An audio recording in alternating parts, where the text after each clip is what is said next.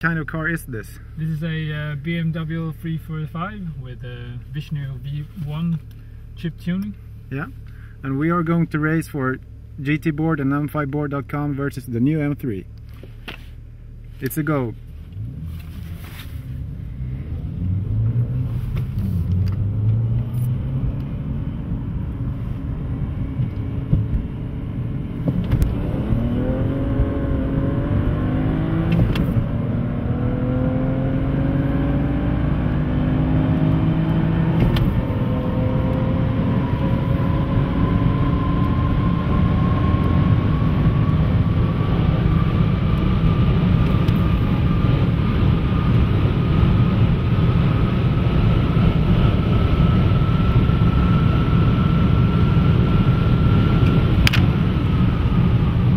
So it's very, very equal there. Yeah.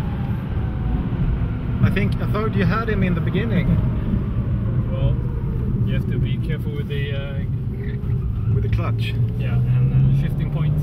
Yeah. Okay. But we lost some then.